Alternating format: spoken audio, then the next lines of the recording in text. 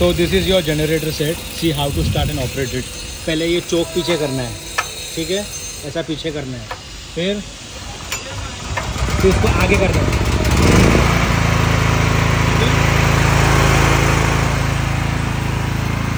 ये पूरा आपका जनरेटर सेट है। ये वोल्टेज है। ठीक है? ये ऑन ऑफ़ स्विच है। ये सॉकेट्स है। ठीक है?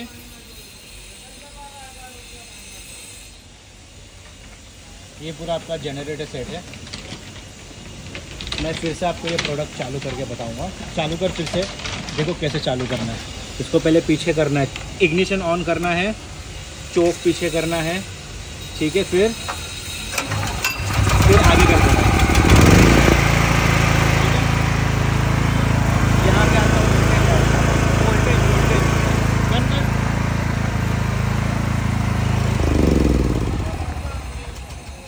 ठीक है सर।